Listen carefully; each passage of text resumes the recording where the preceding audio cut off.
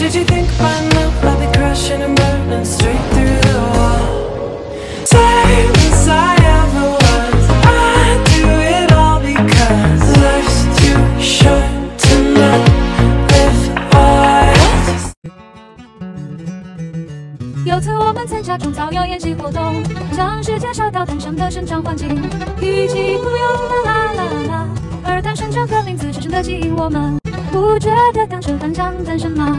于是我们产生了好奇心，迫不及待的想要的激动勇于单身，像符合的一样常常进行探讨，也希望单身能够被推广出去。单身又称红单、赤身、血身，但是单身并不与人参相同，只是因为单身的好处堪比人参，才会有单身的命名。丹参具有许多功用，例如抗菌、抗氧化、疏通血栓、活氧、调节心血管疾病、调经、关节炎消炎等功用。而丹参中富含多种酚类物质，能够抗氧化。而丹参中主要成分为丹参酮，而丹酚算具有活氧、促进血液循环、保护局部缺血与对心脏与脑部之伤害。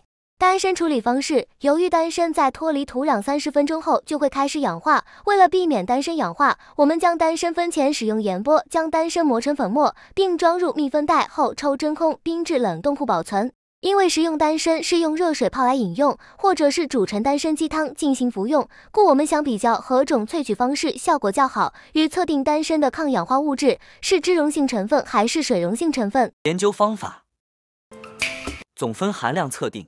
以下为测定单参水溶液与红茶水溶液之总酚含量流程图。DPPH 自由基清除能力。使用百分之九十五与百分之七十五基酒精萃取液至 DPPH 自由基清除能力之效果。过锰酸钾滴定，使用过锰酸钾溶液滴定不同浓度之单参酒精溶液，观察颜色变化，判断滴定终点。看何者滴定终点较多，以判断何种溶液萃取的抗氧化力成分较好。实验结果。丹参与红茶之总分含量，由实验结果得知，丹参的总分含量是红茶的十倍，所以丹参的抗氧化力会高于红茶。丹参 DPPH 自由基清除能力，DPPH 自由基清除能力百分之九十五，丹参酒精萃取液的 DPPH 自由基清除能力为百分之九十三，百分之七十五，丹参酒精萃取液的 DPPH 自由基清除能力为百分之六十九。结果显示，百分之九十五丹参酒精萃取液清除能力较佳。丹参过锰酸钾分析法。